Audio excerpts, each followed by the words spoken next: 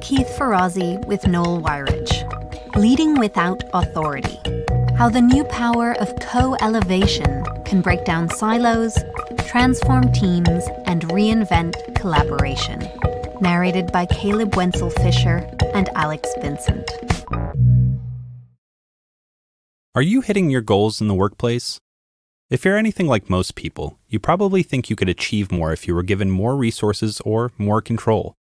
Perhaps you daydream about being promoted to a leadership position where you could finally start changing the way things are done. But the truth is, you don't need to wait to become a manager to make a big splash in the office. You can begin leading your department or your organization right now, regardless of where you sit in the company food chain. Whether you want to improve a particular process or promote a better working environment, these blinks show that you don't need formal authority to start taking charge. Packed with actionable tips and advice, this is your how to guide to convincing your coworkers, increasing your influence, and kickstarting your leadership journey.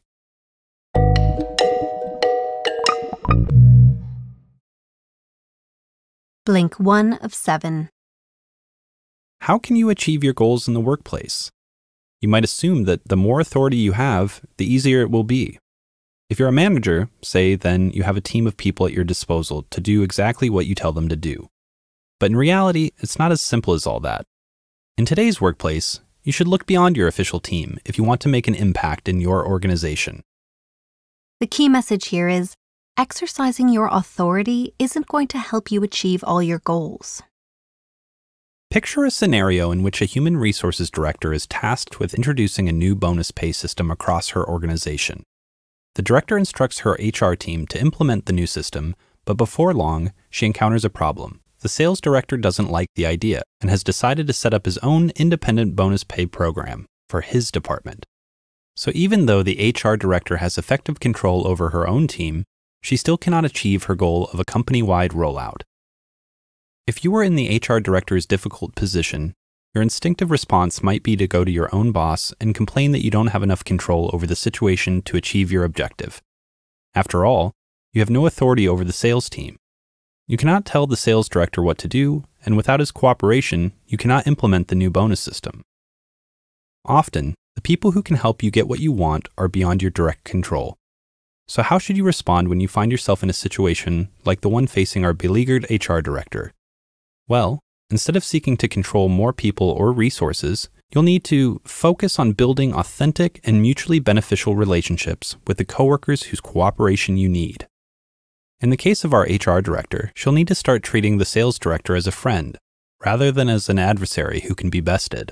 The two directors need to sit down with one another to explore why their conflict has arisen and how the bonus program can be implemented in a way that works for the sales team as well as the HR team. In the following blinks, you'll see how you can develop these mutually beneficial relationships so that you can begin to lead change even when you don't have authority. Blink 2 of 7.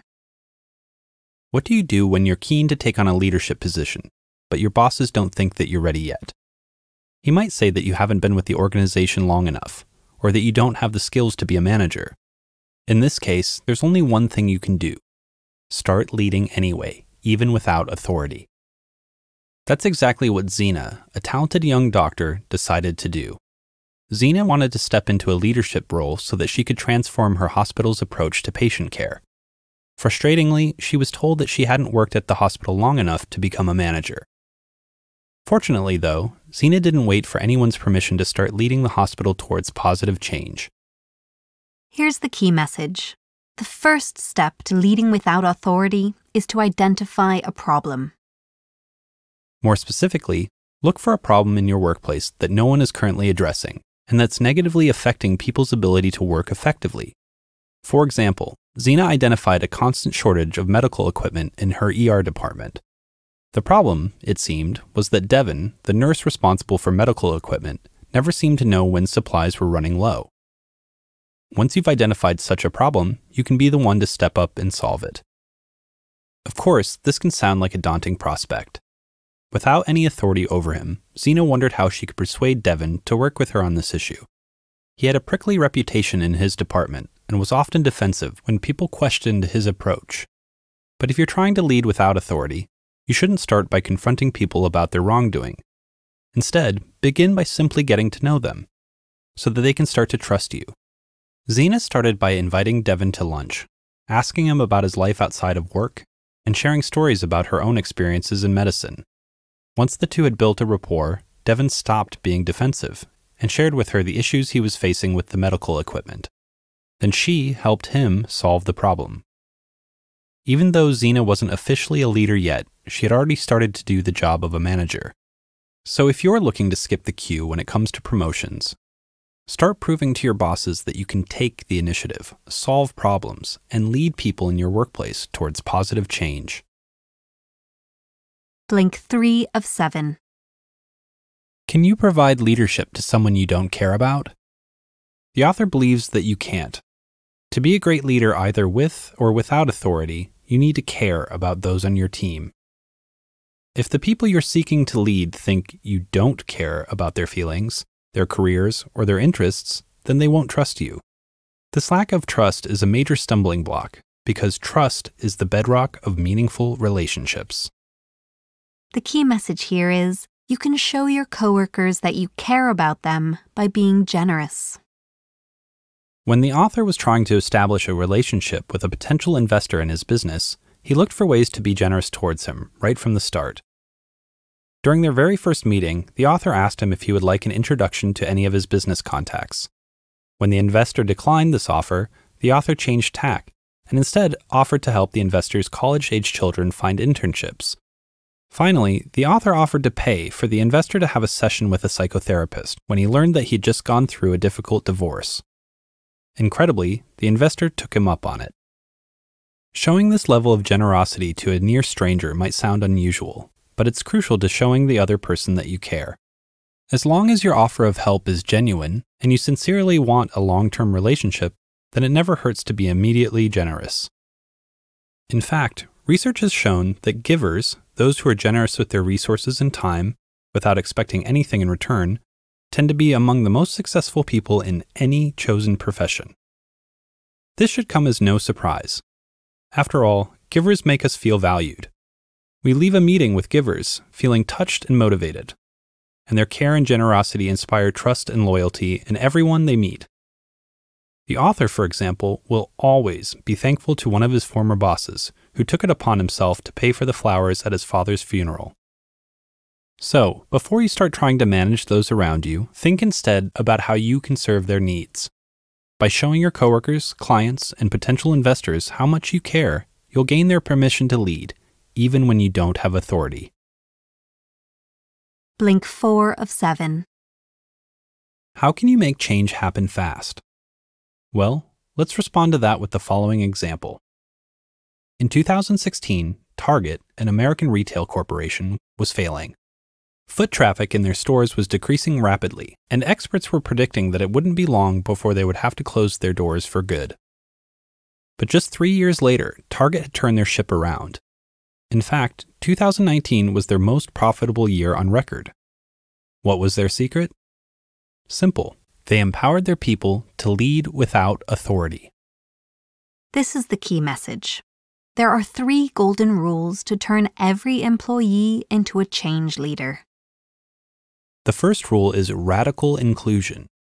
This means giving a voice to a diverse range of people in your organization in order to garner fresh ideas, innovations, and solutions.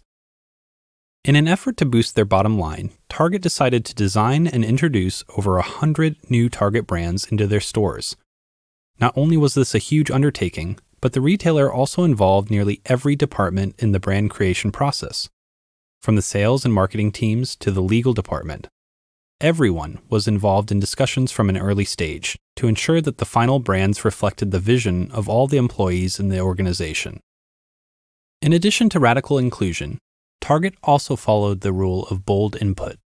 This meant that, even at an early stage in development, they sought candid feedback from many people within the company so instead of the design team simply sending out the finished brands for approval, and employees in different departments sending polite emails with a few comments, people could jump in with feedback at every stage of the design process. As the word bold suggests, this approach takes some courage. The design team had to be able to withstand criticism of their designs from the word go, without letting it affect their creativity and morale. Finally, Target focused on agility. They decided that they wanted their new brands to be ready within months, not years. To achieve this, the retailer held weekly, quick fire huddles that saw people from across the organization come together to eliminate obstacles and troubleshoot in real time. For instance, during these huddles, the legal team would check branding databases as new suggestions were being made to check for any legal issues that could present a problem further down the line. If you want your company to be agile, it's important to meet regularly and to be prepared to make fast, impactful decisions during such meetings. Blink 5 of 7. Whose job is it to coach employees and give them feedback? You might assume it's a manager's job, not yours. For instance, when you notice that your coworker could improve her performance, you might shrug and think it's not your place to tell her where she's going wrong. Well, think again, because a fundamental tenet of leading without authority is coaching your colleagues and offering them feedback. Although it might seem unusual to give your coworkers coaching and performance feedback, in some environments it's the norm. For example, on a visit to a military academy, the author was struck by how the cadets in training urged each other to go on through every military exercise and routinely gave each other advice on what they could do better next time. The key message here is true leaders are generous and courageous with their feedback. If you feel uncomfortable offering your coworkers honest feedback on their performance and competencies, then ask yourself where this discomfort is coming from. Is it simply that you're afraid of hurting someone's feelings? If so, then don't let this fear hold you back. After all, in your personal life, you probably have plenty of experience giving people valuable feedback in a sensitive way. For example, offering advice and guidance is often a big part of being a parent or a good friend. So why should you hold back in the workplace when you notice a coworker could do with some feedback too? The truth is, we often don't offer our coworkers candid feedback because we don't want to risk getting too involved or create tensions by upsetting them. Instead, we prefer to play it safe and stay on the person's good side, even if we can see that they'd really benefit from someone being honest with them. We'd rather just be nice. But this niceness can also be described as manipulative insincerity, and it doesn't come from a good place. Manipulative insincerity indicates that you don't care enough about the person or her career to be frank with her. So, what you need to start doing is acting with radical candor, meaning that you brave the consequences and tell the person what you really think. That being said, before you engage in radical candor, you should ask the person's permission to give them feedback. Because while it's often helpful to receive performance feedback, your coworker might not want to hear it. That's why you have to ask her explicitly whether it would be okay if you gave her your thoughts, and set a specific time and place to sit down to talk. Blink 6 of 7. One of the author's friends is a CEO who always seems to be chatting on the phone. When the author jokingly asked him how he got anything done, the CEO replied that it was usually an employee on the other end of the line. But interestingly, he didn't phone his employees to give out instructions or tell them what they'd got wrong. Instead, he called them to tell them what a great job they were doing. This leader was well aware of the power of positivity and saw it as his job to encourage the people who worked for him by constantly praising their achievements, no matter how small. Here's the key message Lead without authority by celebrating your coworkers. Remarkably, when he couldn't think of anything specific to praise in the case of some of his employees, this CEO would scroll through their social media instead and find something that they had recently done in their personal lives on which he could congratulate them. Although this kind of behavior might sound overly warm and fuzzy, there's concrete evidence that it can improve your bottom line too. Research shows that when people are in a good mood or feel good about themselves, they instantly become more productive and better at solving problems. For instance, one study found that when doctors were given a small gift of candy right before they consulted with a patient, they made faster and more accurate diagnosis than the doctors who had not been given a gift. This just goes to show that even the smallest tokens of appreciation can enhance job performance. Offering your coworkers praise is an excellent way to put them in a great mood and boost their performance. Just be sure that you offer this praise in a way you know the recipients will appreciate. While many people love nothing more than being celebrated in front of others, some of your coworkers will find it deeply uncomfortable to be at the center of attention. If you know that a person you want to praise is an introvert, then take a moment to send him a kind email or a handwritten note of gratitude. Finally, don't be afraid to think outside the box when it comes to showing your appreciation. The author knows one leader who decided to celebrate an employee by phoning his father and leaving a message on his answering machine, thanking him for raising such a great man. The employee's father was so touched that he kept the message on his machine for the rest of his life. Blink 7 of 7. You can't always go at it alone. The author was once asked to coach a high profile actor who had her own TV show. The show's ratings were good, but there was a problem. The actor's bad attitude towards the rest of the cast and crew was creating a toxic environment on set. As a result, the network was threatening to cancel the show. To save her show, she would need to change herself and change the environment in which she worked. The key message here is you can't lead change all by yourself, even with authority. After all, it was her negative attitude and constant sniping at those who couldn't live up to her perfectionist standards that had created the problems on set. So the actor needed a core group of people around her to tell her when she was slipping back into her old ways, and to help her and everyone else stay on the path to positive energy. In other words, not only did the actor need to become a leader, but she needed input from other members of the cast and crew to help her affect change. When you are trying to lead change without authority, you'll need to empower others to become leaders too. After all, one person cannot be around to lead every single small change that can eventually lead to a bigger cultural shift. In order to lead this type of change, the actor recruited two other people on set, including another actor she trusted, as well as a producer to drive progress. To ensure they were all on the same page, the three developed a list of guiding principles to live by when they were at work. These included rules such as not gossiping behind people's backs, ensuring that everyone on set felt listened to, and talking to others in a respectful manner. Soon after, the other actor and producer not only began to encourage their coworkers to live up to these new principles, but they also urged people on set to whom they were closest to to become leaders for change as well. As a result, it wasn't long before everyone who worked on the television show was taking ownership of creating a more positive environment.